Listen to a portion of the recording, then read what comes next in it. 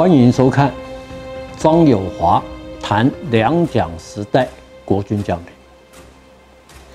为什么我要谈两蒋时代的国军将领？事实上，哈，那我最近在网络上，甚至于某一些著作里面，看到太多颠倒黑白的事情。那其中一篇文章。让我内心有很深的触动。他说：“蒋介石就是信任胡琏，造就了他金门王的地位。”我看了个半天以后，我不甚惊讶。为什么不甚惊讶？原因非常简单，就是说他通篇在歌颂蒋介石，他通篇在。歌颂蒋介石的世人之名，可是各位，这是大内宣，这个不是历史。我也看到部分研究台湾史的，也讲到了这一段，就是说他们会骂蒋介石，但是不骂胡琏。说为什么蒋介石不骂胡琏呢？原因非常简单，蒋介石是爱将啊、宠将啊、什么将啊、什么将啊，这边胡说八道。就我所知，胡琏非但不是蒋介石的爱将、宠将、福将、战将，胡琏是他的眼中钉。哎，有人会问，你讲话要有证据哦。我现在告诉各位，我的证据就有三点嘛。第一个，我在二十一岁的时候，跟胡琏将军吃过两次饭。未来，我在金门王与两蒋政治恩怨，主题是刀锋战将胡琏这本书里面，我会交代的清清楚楚。现在很多人讲到了这一些事。就是说，两蒋对胡琏不错啊，给他晋升一级上将啊，他从陆军副总司令的地位升到一级上将啊。我可以告诉各位，讲这些话、研究这种事情的，全部都在胡说八道。从来没有一个陆军副总司令升为什么陆军一级上将，胡琏不是陆军副总司令任内晋升的一级上将。他是战略顾问任内晋升的一级上将，所以就是说，我们今天去看这段历史，哈，有太多人，第一个不了解历史，第二个胡说八道，你第三个人云亦云，你第四个想当然尔。我刚刚讲的，这是第一个，第一个原因，我跟胡琏见面，胡琏亲口说的。那第二个原因，就是。我在帮蒋总统胡琏，哈将军的八二三手札，我在写整个导读的时候，我就看了这一些所谓的档案。好，那这一些档案里面，我可以告诉各位，你要解读档案的话，不能看文字的本身。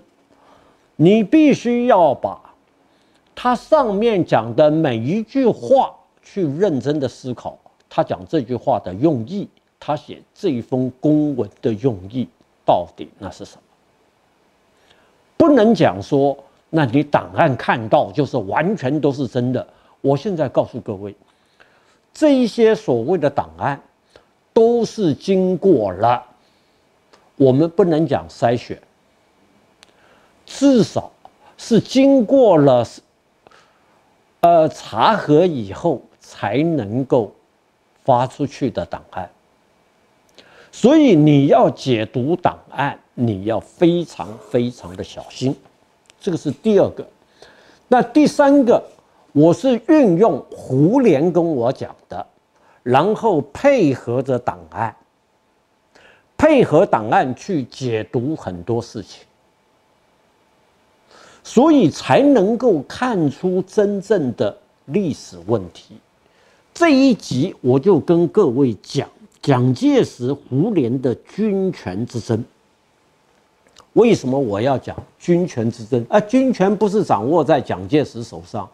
各位要知道，一九四九年一月十八号以后，蒋介石就不是总统。按照宪法上面的规定，他只是中国国民党的总裁，他不能够过问军事事务。军事事务是代总统李宗仁的事，可是蒋介石他还是介入了，他运用。他黄埔军校校长，过去是军校校长、国民革命军总司令、中国国民党总裁的身份，他介入了军事。他介入了军事以后，各位晓不晓得？他总共先后成立了十四个编练司令部，这十四个编练司令部都得到了蒋介石的关爱，唯独一个编练司令部没有得到蒋介石的关爱。为什么？就是胡琏的第二编练司令部。胡琏为什么不会得到蒋介石的关爱？各位晓不晓得原因？就是胡琏在打徐蚌会战，就是中国称呼称之为叫淮海战役的时候，各位晓不晓得？胡琏从一月六号，你冒死从包围圈的双堆集冒死回到南京。他向蒋介石呈送了所谓的突围计划，结果当天晚上被蒋介石刮了一顿，第二天再刮了一顿。那我们怎么知道蒋介石刮他呢？各位去看国史馆，它有出版一本叫做《事略稿本》，就是蒋总统的事略稿本，七十八集里面。明明白白写道：“他叫胡琏，第一个不准突围，第二个要以死殉国，你第三个必须要有惨烈的场面出现。”哎，这个不是那我张友华在这个地方胡说八道哦，啊，真正是有这个东西哦。包含胡琏的八二三手札里面，你蒋介石都要求这些将领殉职。很多人会问你有没有证据？有，各位自己去把这本书，因为这本书的档案实在太多，哈，它的档案一多以后，哈，我们是没有办法跟各位一一的解释。但是呢，我必须告诉各位。事略稿本七十八集，各位去翻一下，甚至于你用网络点阅一下就会出来。我麻烦各位自己去看，因为我不想浪费时间。好，胡琏从南京又回到双堆集，就跟他当时候的司令官黄维讲了一句话：要不要突围？黄维告诉他，好，黄维告诉他，蒋介石的命令是死守。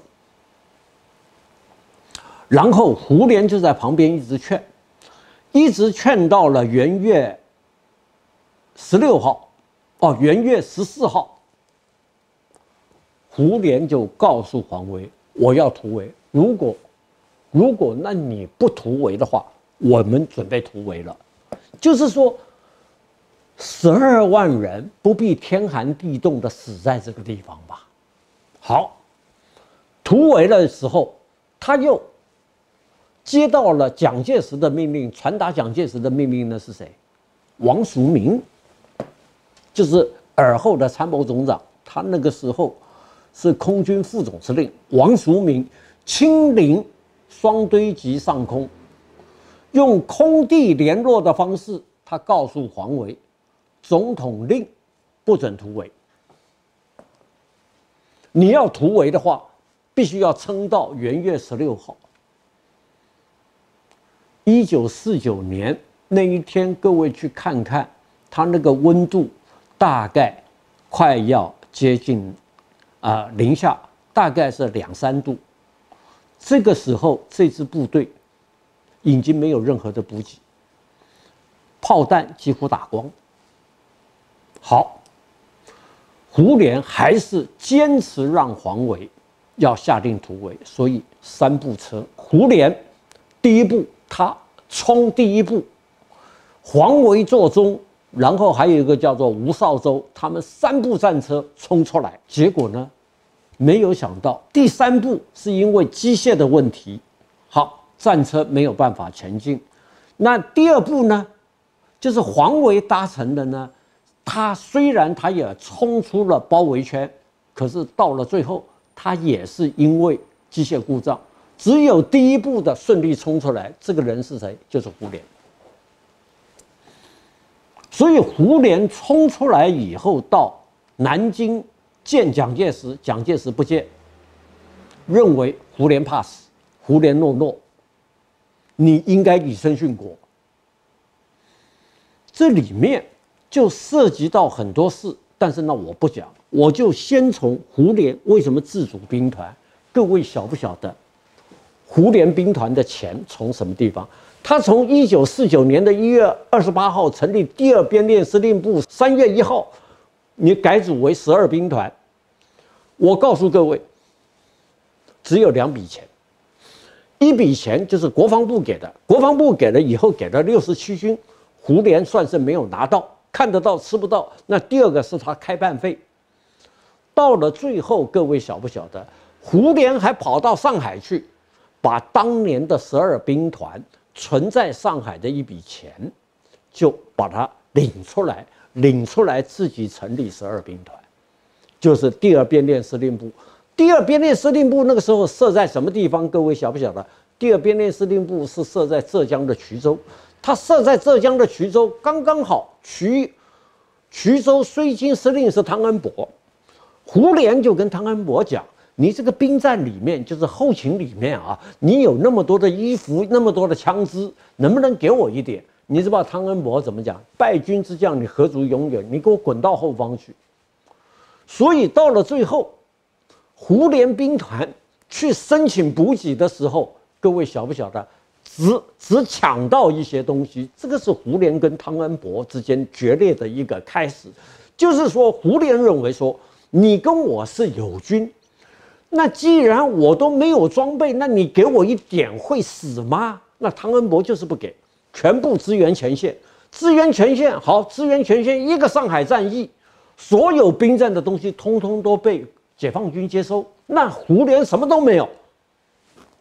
各位想想看，悲不悲惨？那第二个，我就跟各位讲，就讲到了汤恩伯，好，他，他跟汤恩伯之间的，汤恩伯根本看不起胡琏，他说：“那你一个败兵之将，你给我到后面去。”所以他在浙江，他在江苏，想要招兵的时候。我告诉各位，招到三千，三千，这这三千人到了最后，哈，到了最后部队转移的时候，跑掉了一半。那汤恩伯就是优先把江苏、浙江的兵全部给了谁？你知道？各位晓不晓得？全部给了，给了汤恩伯的部队。那换句话说，汤恩伯就是不准他在浙江招兵。好，胡琏没办法，他到了江西。他到了江西，各位晓不晓得？胡琏亲口说，他到江西，他就讲，人要自找，钱要自筹，枪要自运。各位晓不晓得？为什么人要自找？这个就是说，像包含刘启辉先生。讲胡琏的军纪非常的坏，他到处抓抓那个壮那个什么壮丁。我也问过胡琏有没有这回事，他说有。他说乱世嘛，乱世嘛。虽然他是讲哈三线成成军嘛，好一线成师嘛，然后啊这个那我下次会好好的讲。他在江西如何招兵？但是我我可以告诉各位，他为什么讲九县成军？九个县就有一个军。况且胡琏分配的地方不是赣江南岸，他是在赣东，赣东到赣南，再从赣南到福建。他本来是在赣北，然后到赣东，赣东跑到赣南，赣南到福建。好，那我告诉各位，这个里面，汤恩伯三番两次的想把他部队吃掉，胡琏就是不同意，就是总而言之，他不会列入到了汤恩伯的作战指挥序列里面去，这也就是造成了他跟汤恩伯之间的决裂。然后我们再来看，好，汤胡哈交恶各行其事。就是说，到了最后，蒋介石，这个是蒋介石日记里面是蒋介石自己写的哦，不是那我张友华周的哦。每一次胡琏去见蒋介石，蒋介石都给他一个命令，你要听汤恩伯指挥。六次，先后六次。胡琏听到命令以后，各位晓不晓得？啊？他也告诉蒋介石，我跟他之间没有办法共事。他也不想听汤恩伯的指挥，可是蒋介石一直施加压力。到了最后，胡琏，我可以跟各位讲啊，到了最后，胡琏到了潮潮汕地区，厦门战役没有开始，金门战役没有开始的时候，各位晓不晓得？胡琏按兵不动，长达哈长达十八天。纵然蒋介石三催四请，把他召到广州召见，他也不想援助汤恩伯。各位想想看，就是胡琏，胡琏跟蒋介石之间的一些关系，那蒋介石就运用他的压力，一直叫胡琏接受汤恩伯，听从汤恩伯的指挥。胡琏为什么不答应？胡琏不答应，只有一个理由：你宁可把武器装备系统、被俘啊那些全部送给解放军，当然不是送了，就是说，那你打了败仗以后被解放军接收，你都不肯把这些物资留一点给我用。这也就是说，当胡琏跟汤恩伯他们各行其事的时候，为什么中国东南半壁的江山不到半年？全部沦陷。各位晓不晓得，那个时候中国东南半壁江山的人口那是多少？将近两亿多，将近两亿多。东南半壁又是向来是中国最富庶的区域，又有两亿多的人口，为什么半年不到全部丢光？各位去想想，就是说。那么多部队到达台湾，那么多部队到了台湾，我们就是非常的感慨，说将领之间真的是各行其事的话，这种部队怎么打仗？那这种现象未来会不会发生？没人敢保证。但是我可以告诉各位，从胡琏的事例里面，他讲了四个字。他说：“一切的根本，必须要自力更生，别人才会帮助你。今天台湾面临的状况也是这样子，除非我们台湾可以自力更生，否则你一天到晚你想着美国，没有用的。当你没办法自力更生的时候，战争就在你旁边。”